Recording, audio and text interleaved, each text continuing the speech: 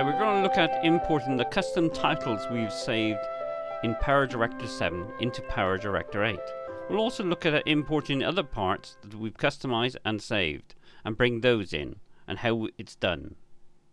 Okay, go into My Documents, Cyberlink, and open it up and you will see a number of folders here, directories here. Uh, we're going to be concerned with just two directories, PowerDirector and Custom Menus. The custom menus is where all the previous DVD menus are retained.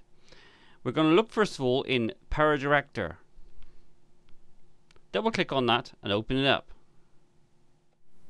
The contents of folders 7 and 8 interest us here. Open up 7 and My Picture in Picture, My Titles and My Paths. We select My Paths, the contents is copied.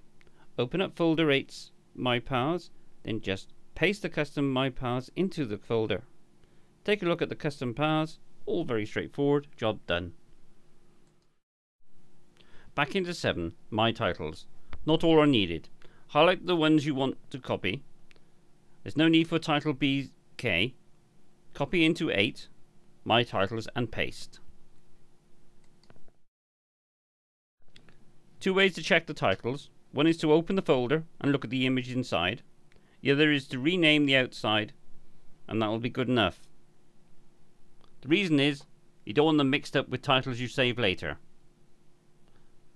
Rename them PD7 in this instance. Okay, it's Picture in Picture's turn now. Open up the folder, look at all the contents. Decide which you want to copy and paste and place in the 8 folder. Check them out, have a look and see what they are. Open the folder up, Look at the images inside. Pretty straightforward. Now go for a copy and paste. So we copy the contents, then we bring them into 8 and paste it. And there we are. We've brought them all in, the ones we wanted. Easy as that.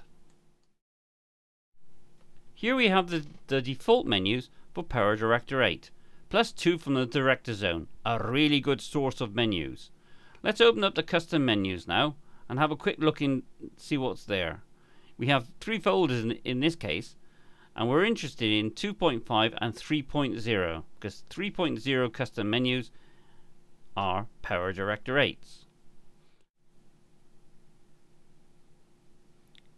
Okay, we open up uh, 8 to have a look and we, you can see we've only got one menu in there.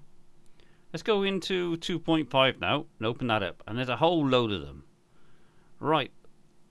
Now the funny thing is you don't need to do anything with these custom menus because PowerDirector 8 calls upon the custom menus in 2.5 and they're all in here already because of that.